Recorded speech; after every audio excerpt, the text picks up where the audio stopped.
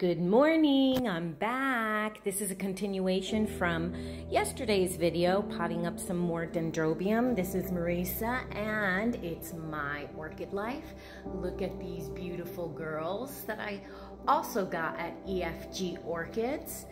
Um, like I said, I purchased them in threes because that's how I like to pop them up. Now these girls are a little bit more sensitive. Um, they'll throw a fit, you know, they get stressed. You're repotting them, they get stressed. They'll throw a little bit of a fit. Some of their buds, they some of these are in buds. Some of their buds will fall off. Um, their canes will kind of yellow out and flowers will fall. If that does happen, just uh, cut the um, the stem, cut the the spike. It's okay they will concentrate on their leaves and growing more um, canes. They're good, and they'll they'll they'll spike again. So yeah, sometimes that does happen. Um, I'll be surprised because these gals are a little bit more sensitive. I'll be surprised if it doesn't happen to them. But um, yeah, so here I'm gonna pot up some more. And I'm drinking my little cafecito from my cafecito cup that I bought at the Orchid Den from Josh. He makes these. Isn't this so beautiful? Oh my God, I love, love it. He has a lot of pottery that he makes too. He makes all his pottery there. Um, some really beautiful orchid pottery. And he makes these cups. Okay, so what do we do?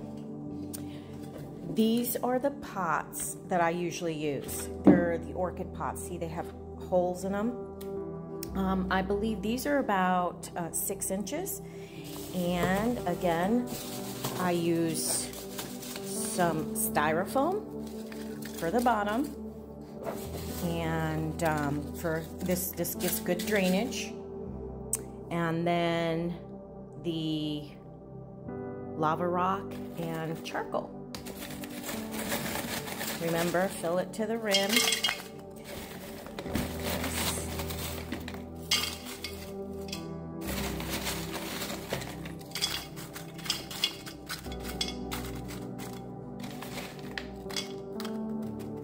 Fill it to that line. That's what I do anyway.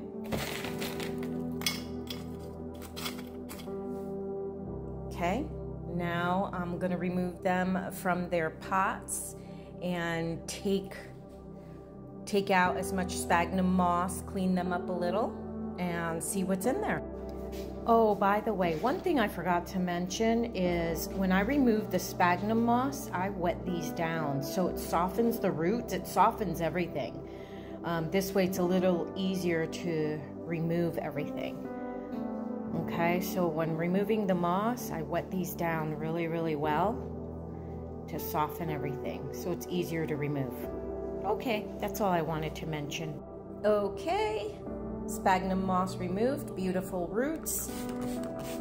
Here, spraying them down with my hydrogen peroxide, antifungal, antibacterial. You could also use Physan 20. Um, I don't have any, I have some, but I just don't have any um, prepared. So that's why I'm using that.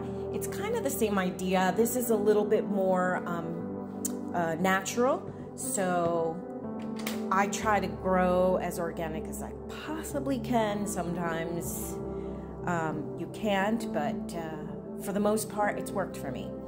Anyway, so now on to laying them on top, letting this dry off just a little bit, and putting them into the pot, setting them up on the pot. So I set these beauties up in the pot. Lots of roots. I probably could have used a bigger pot, but that's okay. And I strategically placed them into the pot. I staked them up so that they don't move, and then I used uh, some rhizome clips to keep them, to really keep them in place. Now I'm going to put some lava rock and charcoal on top just so that the roots aren't so exposed.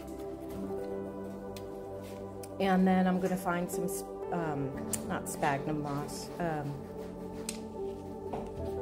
some um, Spanish moss around the yard and put that on top as well. As you know, the, uh, the Spanish moss will um, help with humidity and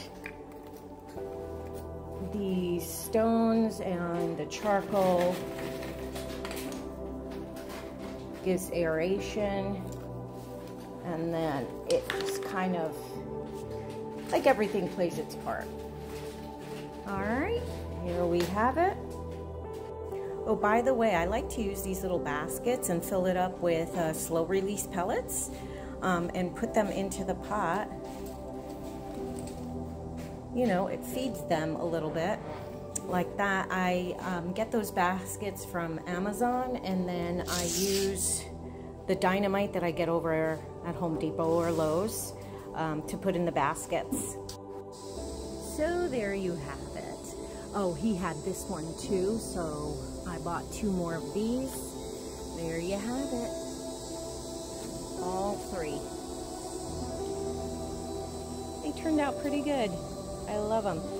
So I use these cinder blocks um, to uh, as as you know plant stands. I like them because they're they look kind of organic and rustic at the same time. Anyway, these are big mamas, so I'm not going to keep them here. We're going to move these around so that it looks a little better. Let's see how I can do this. Oh my goodness, look how beautiful that turned out.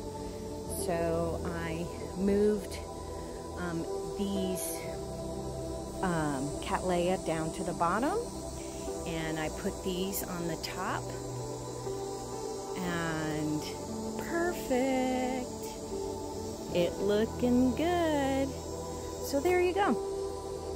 Just some ideas for anybody who wants to pot up some dendrobium. This is what works for me. I'm in Palm Coast, Florida, so it is very humid out here. It's perfect for them. Um, it does tend to get uh, colder out here than it does in Miami. Miami is just a, the perfect, most perfect weather um, for orchids that you could ever have. Here it gets a little colder. Um, if it gets too, too cold, I will move some orchids um, into the lanai. Excuse me. I will move some orchids into my lanai that are a little bit more sensitive to the cold, but uh, it doesn't stay cold for long. So yeah, guys, it turned out really pretty. Look at, oh my God, they are just so beautiful. Oh, I just love dendrobiums. They are so beautiful. They're very hardy. Um, like I said, they'll probably throw a little bit of a fit. I'll be surprised if these guys open up. If they do, then they're fine. But yeah, um, like I said, if that happens, just cut their spikes off. And um, they'll concentrate more on, on uh, their canes and their leaves and um, growing more canes. All right. Thanks a lot for watching. Have a blessed day and uh, till the next time.